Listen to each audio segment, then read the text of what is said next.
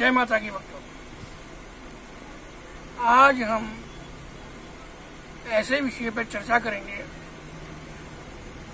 जो विषय सबकी नज़र में भी है और सामान्य भी है। क्या हम मनुष्य की मृत्यु के बारे में जान सकते हैं? हाँ जान सकते हैं। इस विषय को आगे बढ़ाने से पहले मैं आपसे एक बात कहूँगा कि आप हमारे चैनल को सब्सक्राइब करें और घंटी के बटन को दबाएँ लाइक करें शेयर करें, ताकि ये जानकारी सबको मिल सके। तो अब ये जानिए कि मृत्यु के बारे में कैसे जान सकते हैं। कुछ कारण ऐसे हैं जो शरीर में प्राकृतिक तौर पे उत्पन्न हो जाते हैं और वो स्पष्ट करते हैं कि ये जो व्यक्ति है अब ये दुनिया छोड़ के चला जाएगा, अर्थात मर जाएगा। तो पहला कारण है जीभ में कांटे का होना। जीभ में कांटे उत्पन्न हो जाते हैं प्राकृतिक तौर पे और खाना पीना बंद हो जाता है।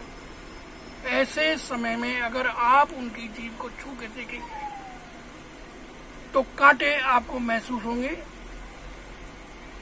दो आइए दूसरे विषय पे। और वो विषय है कि मनुष्य जो बीमार है, काफ़ी समय से चल रहा है, उस व्यक्ति की आँखें ठहरनी शुरू हो जाए और आँख से पानी आना लगातार जारी रहे।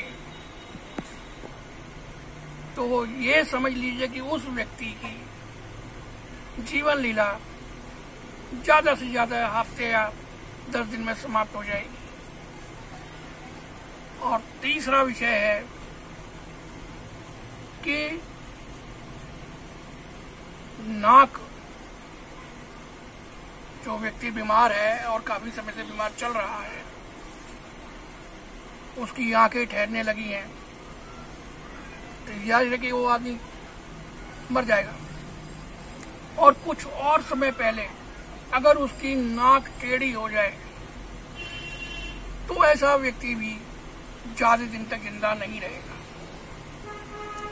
इन जानकारी को देखने के बाद आप इस निष्कर्ष आप इस निश्चय पे पहुँच जाएँगे कि जिस व्यक्ति को हम देख रहे हैं कि इसकी जीभ में कांटे हो गए हैं, नाक टेढ़ी हो गई है, कान सूख चुके हैं और लटक गए हैं, वो व्यक्ति निश्चय ही इस दुनिया को त्याग के चला जाएगा। इन्हीं शब्दों के साथ मैं एक बार आपसे फिर कहूँगा कि आप हमारे चैनल को सब्सक्राइब करें, घंटी वाले बटन को दबाएँ, लाइक और शेयर करें, ताकि जानकारी सबको मिल सके। इन्हीं शब्दों के साथ मैं आपसे विदा चाहूँगा। जय माता की